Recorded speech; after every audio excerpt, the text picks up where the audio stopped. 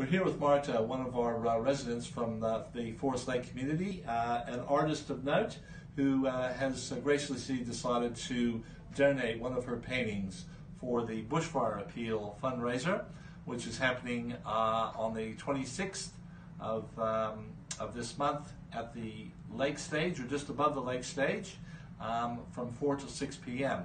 And as you can see, the painting depicts uh, one of the areas in Forest Lake. Uh, Marta, um, what does this painting mean to you? Um, it's actually one of the first paintings I did of Forest Lake after I moved to Forest Lake. And uh, I was just so taken by the beauty of the lake, by the surrounding bushes in the area, that I just had to paint it. And I kept it for a long time for myself. I have done other paintings of Forest Lake which I've sold, but this one is, it was my first one. I kept it for a very long time, but I thought this is a, such a very special cause that I would like to donate it for the cause of. Yeah.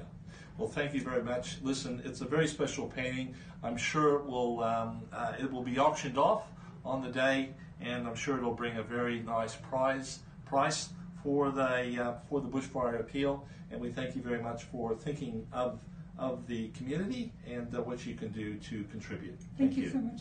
Thanks.